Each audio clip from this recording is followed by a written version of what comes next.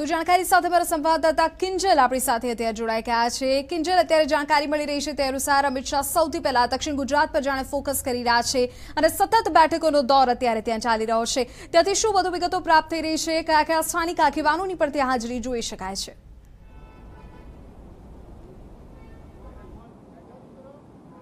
જે વિધિ બિલકુલ મેરેથોન બેઠક દક્ષિણ ગુજરાતની લગભગ ત્રણ કલાક ચાલી છે અને હમણાં જ બેઠક પૂર્ણ થઈ છે. દ્રશ્યો છે તે આપ જોઈ શકો છો. ટૂંક સમય પહેલા જ જે ભાજપના પ્રદેશ પ્રમુખ સી આર પાટીલ તેમની સાથે મુખ્યપ્રધાન ભૂપેન્દ્ર પટેલ તથા ગૃહમંત્રી અમિત શાહ અહીંયાથી રવાના થઈ ચૂક્યા છે અને હવે જે તમામ મંત્રીઓ છે, હોદ્દેદારો છે, પદાધિકારીઓ છે, તે ધીમે ધીમે રવાના થઈ રહ્યા છે. વિધિ, દક્ષિણ ગુજરાતની જો વાત કરવામાં આવે તો દક્ષિણ ગુજરાતની બત્રીસ જે કુલ બેઠકો છે માફ કરશો, પાંત્રીસ વિધાનસભાની બેઠકો છે. પાંત્રીસ વિધાનસભાની બેઠકો માટે અહીંયા કહી શકાય, મંથન થઈ ચૂક્યું છે. ત્રણ અલગ અલગ તબક્કાની અંદર આજે બેઠકોમાં ચર્ચા કરવામાં આવી હતી. પહેલા તબક્કાની અંદર જે મંત્રીઓ હતા, પૂર્વ મંત્રીઓ હતા, ધારાસભ્યો હતા, તેમની સાથે બેઠક કરવામાં આવી છે, જેમાં કેટલાક જે ધારાસભ્યો છે, સ્વાભાવિક રીતે રિપીટ થશે. કેટલાક ધારાસભ્યો છે, તેમને ડ્રોપ પણ કરવામાં આવશે તેની જગ્યાએ નવા ચહેરા પણ આપવામાં આવશે. પરંતુ ચહેરો કોઈ પણ હોય, ભાજપના સિમ્બોલ ઉપરની કામગીરી કરવાની જો એક મેસેજ છે, તે એક સ્પષ્ટ કરવામાં આવી છે. તેની સાથે બીજો જે મહત્વનો મુદ્દો રાખવામાં આવ્યો છે, એ છે વિપક્ષની સાથેની રણનીતિ. એટલે કે જે નર્મદાનો જે બેલ્ટ છે, ભરૂચનો બેલ્ટ છે, ત્યાં ક્યાંક ને ક્યાંક કોંગ્રેસ અને બીટીપીના તો સમર્થકો છે જ, પરંતુ આ જે બેલ્ટમાં ધીમે ધીમે આમ આદમી પાર્ટી દ્વારા પણ પ્રચાર કરવામાં આવી રહ્યો છે. જે રેવડી કલ્ચર ઉપર ભાજપ સવાલ ઉઠાવી રહી છે.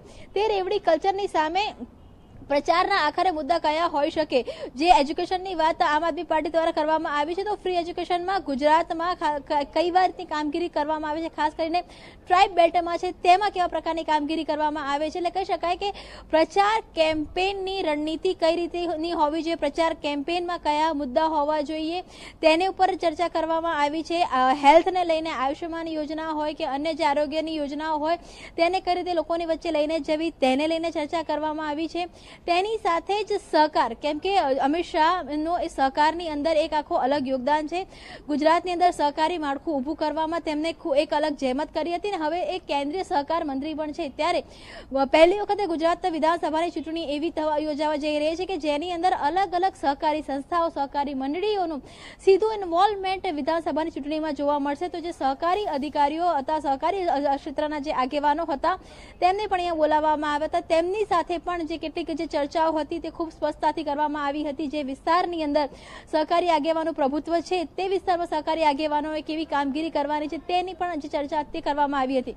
પેજ સમિતિને લઈને પણ વાત કરવામાં આવી. પેજ સમિતિની સાથે જ જે કાર્યકર્તાઓ છે, ખાસ કરીને મોરચાઓ, તમામ જે આઠ મોરચા છે, યુવા મોરચા, મહિલા મોરચા જે આદિવાસી સમુદાય મોરચા, જેટલા આઠે આઠ મોરચાઓ છે એમણે આ પાંત્રીસ બેઠકોમાં કેવી રીતની કામગીરી કરવાની છે, શું રોલ છે તે ચર્ચા કરવામાં આવી અને તેનાથી પણ વધારે મહત્વનું વિધિ કે ઉમેદવારી ફોર્મ ભરવાથી લઈ અને વિજય સરઘસ કેવો હોવો જોઈએ? તેની પણ જે ચર્ચા છે, ત્યાં જે આ બેઠકમાં કરવામાં આવી કહી શકાય કે ભાજપ પોતાની જીત માટે ખૂબ આશ્વસ્ત છે, દક્ષિણ ઝોનમાં વિક્ટરી માટે ખૂબ આશ્વસ્ત છે અને એ જ કારણ છે કે આજે એક મંચ ઉપરથી કે જ્યાં પ્રચારની વાત કરવામાં આવી, સહકારની વાત કરવામાં આવી, ત્યાં ઉમેદવારી ફોર્મ ભરવાથી લઈને વિજય સરઘસ સુધીની રણનીતિ, તેની માટેની વ્યવસ્થાઓ અને તે પણ તમામ વસ્તુઓ અહીંયા ગોઠવવામાં આવી છે અને તેને લઈ અને જે માળખું છે તે પણ સેટ કરવામાં આવ્યું છે. બિલકુલ તમામ મુદ્દાઓને બેઠકમાં આવરી લેવાયા હોવાની જાણકારી છે. દક્ષિણમાં ખાસ તો ભાજપ મજબૂતાઈથી આગળ વધે છે. ટ્રાઇબલ બેલ્ટ સિવાયના વિસ્તારોમાં ત્યારે